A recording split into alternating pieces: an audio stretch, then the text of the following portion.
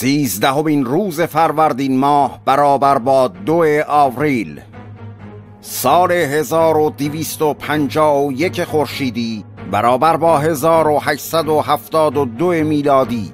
در گذشت ساموئل مورس مخترع آمریکایی و ابداع کننده تلگراف.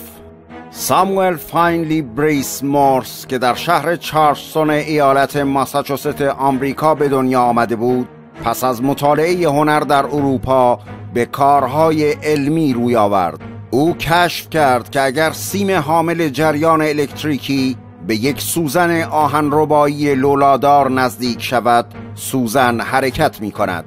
بنابراین وی دست به کار ساختن ماشینی به نام تلگراف شد تا بتواند به کمک همین روش پیامها را از نقطه‌ای به نقطه دیگر ارسال کند.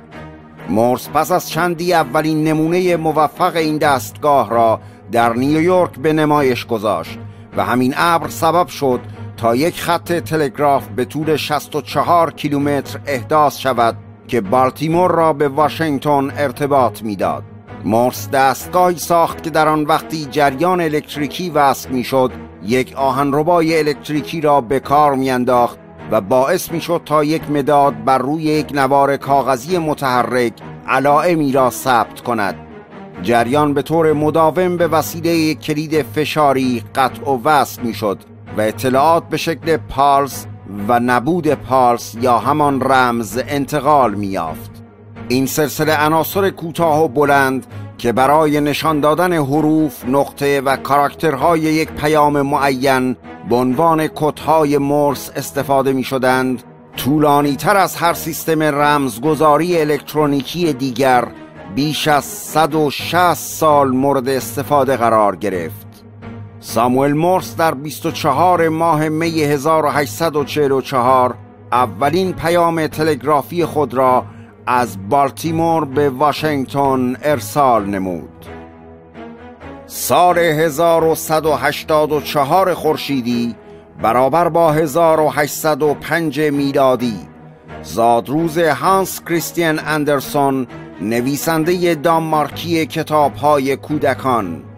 اندرسون که متولد شهر آدنسه دانمارک است چون در نوجوانی پدرش را از دست داده بود به کوپنهاگ رفته تا در تئاتر مشغول کار شود.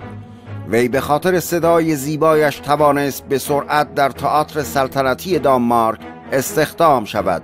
اما پس از چندی با از دست دادن صدایش کار خود را نیز از دست داد. در یک ملاقات تصادفی اندرسون مورد توجه جوناس کالین مدیر تئاتر سلطنتی دانمارک قرار گرفت.